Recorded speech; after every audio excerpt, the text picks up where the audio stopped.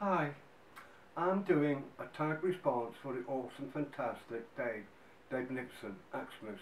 This is his last Saturday's seven question tag.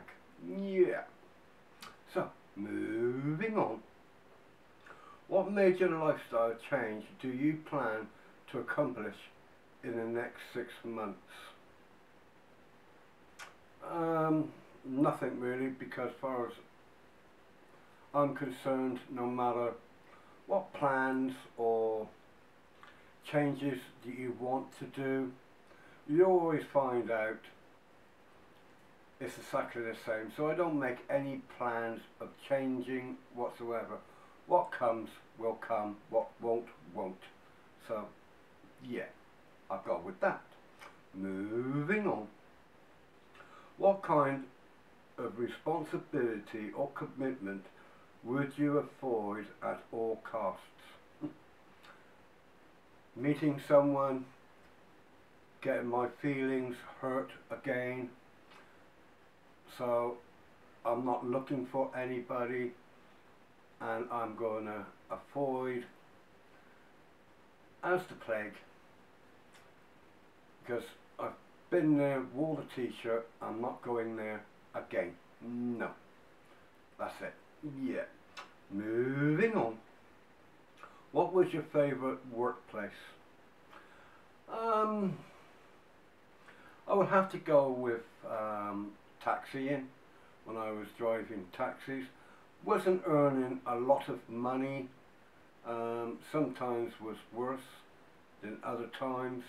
But I love driving. I love going to different places. So I would say as a taxi driver, yeah.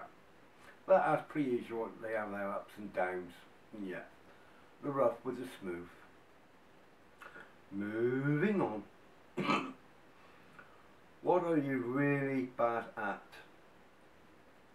Everything. I, I, no matter what I try, always fall flat on my back. Um, doesn't work out for everything. Everything I try to put my hand to, I can't do. So I'm going with that. Yeah. Moving on. Do you believe that happiness is the best revenge? Not really. Um, my own opinion is to be happy in oneself, you've got to accept yourself who you are, what you become. Um, that to me is more important than trying to find somebody to share your life with to um, prove a point that the person has moved on, you've moved on, you've got somebody else in your life. Um, that doesn't work. The best thing to do is just be yourself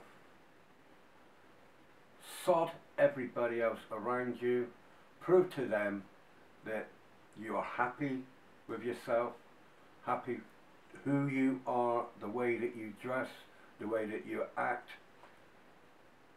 That way I feel is a big enough revenge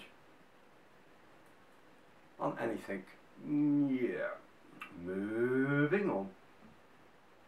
Are you busy living your life or making a living? Um, making a living, I, I can't because of the stress levels that I'm in, the anxiety that goes with it, everything else surrounding. So, making a living, I cannot do. So, I've got to live my life the best way I possibly can day to day. Mm, yeah. Moving on to number seven and last. What would you consider a priceless moment in your life? Priceless moment. There's been many, many priceless moments in my life.